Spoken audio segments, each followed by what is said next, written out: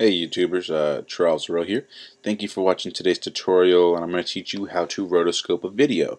Uh, and so what you can see here is a quick little uh, video I made with my brother, um, you know, where he just stomps and makes a little explosion.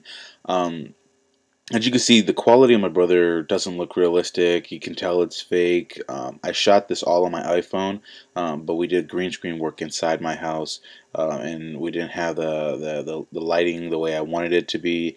Um, but I was able to, you know, pretty much get rid of all the, the nasty edges on him. Um, it just, the, the quality you can tell is different from my brother and outside uh, where the light looks. Um, that's something that you can easily fix and I'm going to fix that by actually buying a new camera. I mentioned this in my recent vlog. I'm actually going to be buying a new camera. I was thinking about getting the, the Nikon D3100 but now I'm leaning more towards either the Sony a55 or the Canon 60D. So if you have any suggestions, go ahead and send me a message or drop a comment below and I'd love to hear which camera you think is better or a different camera you hear that is good. But I should be making a purchase within the next couple days. So uh, let's get on to the tutorial and I'll show you how to rotoscope. Alright, so the first thing we need to understand is um, rotoscoping is uh, just kind of like a green screen. Um, you're getting rid of uh, uh, an area so that you can manipulate um, whatever you keep to doing what you want to do. So like with green screen, if I wanted, I could actually key out this blue just by using key light. Um, and the blue would disappear, but I'll still keep, you know, the trees. But whatever else in the footage is blue, it will disappear as well. So that can create a problem. Like right here, you see there's like a, a highlight of blue from the sky. Um, there's a little bit of blue like in here and here, um, right in here. There's a little bit of blue on this tank. Um, so that would create an issue if we were to do that because then we'd be missing a lot of pieces that you need. So this create your composition. I create a composition um, at 1280 by 720. That's what I normally like to work in. I just dragged my footage inside my timeline. Um, once you do that, make sure you go all the way up here to Window, click Window, and come all the way down to Brushes. Uh, make sure you have brushes selected, uh, and it'll pop it right next to your viewer um, your, your composition, your slug, whatever you want to call it. Um, that way you can select the different type of brush you want to work with when you go to rotoscope. Um, oftentimes you need to have a small brush so you can get to the fine points like down here on the ceiling uh, or the roof of the building. Um, but then inside um, of the larger areas you can obviously use a larger brush. So once we have all of this set up, now we're ready to rotoscope. Um, go ahead and click on the layer and now double click and it'll open up the layer in a special window where it opens up the original video file all by itself in its own special little viewer um, slug composition that you can manipulate using the brush tool, the clone stamp tool, um, the rotobrush tool. Um, you could even mask inside of this and it'll manipulate only this image but it's the original image. So if you were to create an image out of this image in a different composition, double click this image and manipulate this image, it will alter the image that you have already created. Just so you understand how this works. Um, I don't mean to confuse you if I am. If you have any questions, obviously just shoot me a message or drop a comment below. So let's start rotoscoping. You want to go up to this button right here. It's called the Rotobrush tool. Um, you click it, and now you have a brush that you're going to select with. Um, kind of similar to Photoshop, you'd have like the wand tool and the lasso tool. Um, this works like the lasso tool. If you just, I guess, circle around an area, a green line pops up and it pretty much picks up all of the objects in that area that are kind of close to the colors that you picked up. Because what rotoscoping does is it allows you to not have to be as precise as you want. Like I could just draw a line right here and watch how much of the area it actually picks up. Boom. See it connected from this little box that's now circled in purple letting you know what's inside that box is what you kept and it connected it with the line because this line that I drew here um, had color properties that were similar to the colors over here, similar to the colors over here, and it just was able to pick up all those colors for me without me actually having to keep circling over and keep circling over and keep circling over. So let's go ahead and get everything that's uh, pretty much, you know, um, down at the bottom half. We're going to cut out the sky because as you saw, that's where my brother was.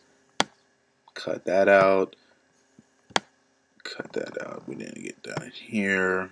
Okay, so we got that purple edge going all throughout the bottom. Now we gotta, you know, get the sharp points right up in here. Uh, get the corner of this building. Be careful if you get the sky. If you do get the sky, um, or whatever image you're um, working with, I'll show you how to actually fix it up. Uh, in order to do that, I'll go ahead and select the sky. Alright, see this little piece of sky. Let's say you accidentally selected it by just going a little over um, your, your subject. If you hold down the Option key for Mac users and the Alt key for PC users, you'll notice your brush turns into a red dot from a green dot. See, the original is a green dot. You press and hold, now it's a red dot.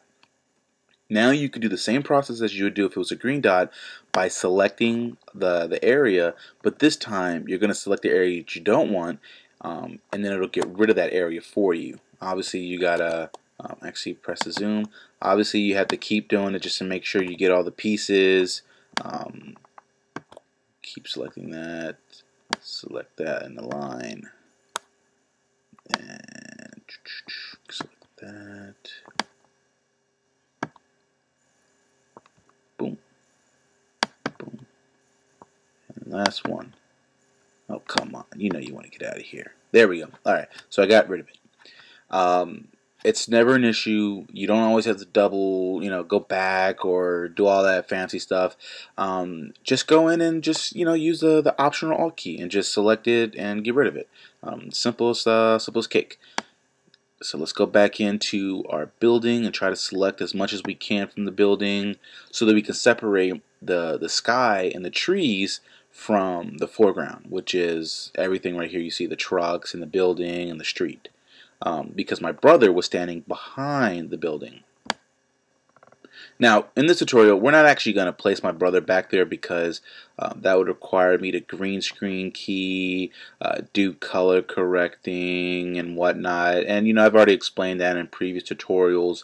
Um, the purpose of this is just to show you kind of how to rotoscope um, so that you can have the knowledge for yourself and let your imagination run wild with um, things you'd like to throw inside uh, of the tutorial or uh, side of your video um, so that you don't have to just rely on uh, what I'm doing. Oftentimes you watch a video copilot tutorial and then you see hundreds of people duplicate that tutorial and act like it's their own project. I mean, they're doing these things to show you how to learn and use the products and the programs, not for you to just copy what they're doing and try to call it your work. So I'm going to show you how to rotoscope this um, and then you know let y'all run from there and see what y'all can create.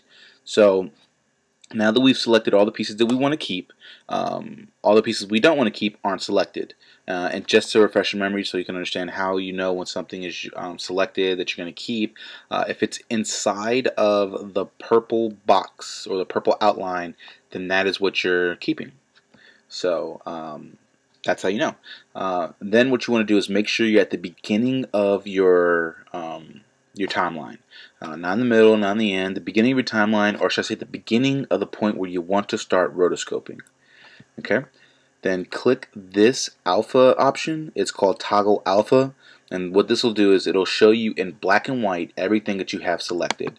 Where white being the stuff that you have selected that you want to keep, and black being the stuff that you don't want to keep. Now you see here I have a couple little spots in there that I want to get rid of. So I'll get my red dot, go over that, and go over this, go over this. Okay, now if you press it again, you'll now only see what you're going to keep. And so you can see how rough the edges are. Obviously, you'd have to smooth those over, um, but you can see what you're going to keep and what you're going to get rid of as the background. And uh, then you want to go to the beginning of your timeline, um, and you want to start rendering. But you also want to know how long you want to render. Um, there's a, a, little rotobrush band that you see here in gray. Uh, it starts with a little yellow box, a yellow box with arrows following after it.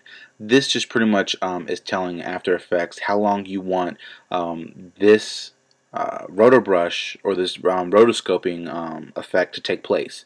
And right now it looks like it's only going to take place for about 20 uh, frames. And let's say you want it to last for one second. You want to click and drag the box over to one second. Or you want it to last for two seconds or three seconds. For that particular video you just watched, um, I made sure it lasted for three seconds. Uh, but just for this tutorial purpose, we're just going to drop it down to one because um, the rendering process could take a little while. Um, so go ahead and press spacebar, um, and that will help you start to render, and just let it run its course. And as you can see, it's uh, it's rendering out, it's rendering out. It's actually moving a lot faster than I expected, so I don't have to worry about ending the tutorial and then coming back um, when it's done.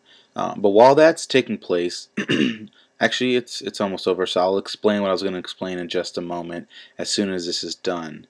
Okay, hurry up. It's a 25, 26, 27, 28, 29. Okay, now you could press spacebar. Now you saw it kept going. It wanted to continue to rotobrush or rotoscope, but there was nothing for it to rotoscope because you put the time span for one second, so it kept going. You just had to stop it yourself. So we're going to go ahead back to the beginning, um, and you'll see for one second it's rotoscoped. You see that? One second.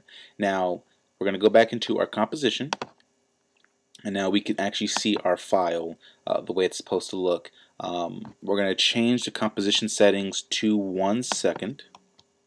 Press one second and press OK. That way we can go ahead and just make sure we're working entirely uh, with a one second video. As you can see, it's rotoscoped, um, but the edges are very harsh. You see they're moving very, very fast and you know rugged. Um, that's where you actually have to play with the settings of the rotobrush. So we may need to smooth it out to what five pixels. Ooh, look at that. Made it a lot smoother. Maybe feather it up to 50. You know, um, we could choke it a little bit so it can get, you know, nice and even. You need to refine the matte a little bit. I mean, these are settings you need to play with based on how your actual footage turned out, whatever you're using.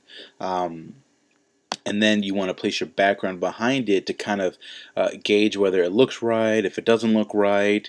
Um, what I did for mine was I actually put uh, the same video behind it so you actually can't tell but um, like with my brother um, let me just create a, a solid um, or actually I'll create text um, and we'll write uh, um, Gandalf for, you know, from uh, Lord of the Rings. We're going to have to make that bigger just so y'all can see it.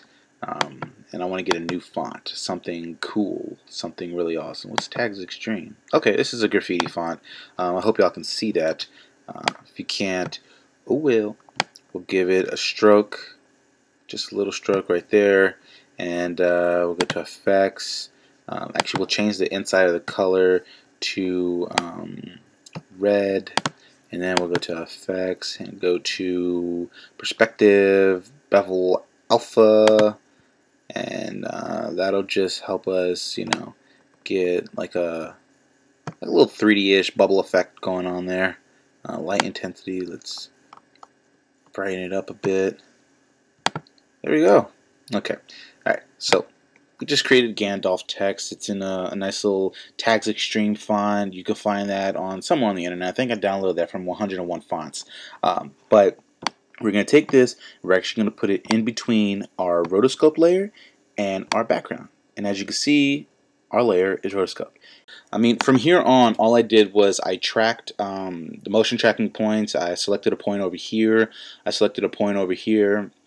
I motion tracked the position and the rotation and then I just created a null object, applied the tracking to the null object and applied uh, the pick whip tool to um, the null object of uh, the layer. So let's say you know Gandalf was Ricky.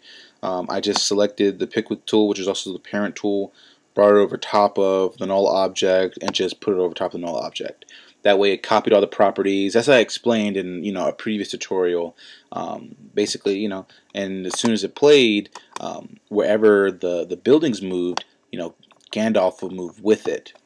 And that's pretty much it. That's how you rotoscope. So thank you for watching today's tutorial. I hope you enjoyed it and have a wonderful day.